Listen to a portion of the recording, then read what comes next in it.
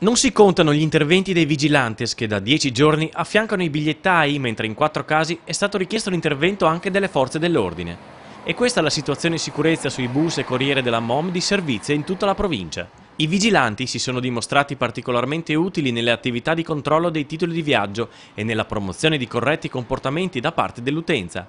In quattro casi però le reazioni hanno creato qualche problema, richiedendo il sostegno delle forze dell'ordine. Si tratta di una procedura attuata per prassi dagli operatori MOM e tuttavia la presenza dei vigilantes si dimostra importante per evitare che tali situazioni possano degenerare. Una sperimentazione che ha convinto i vertici di MOM a potenziarne la presenza con altri 5 turni da febbraio prossimo.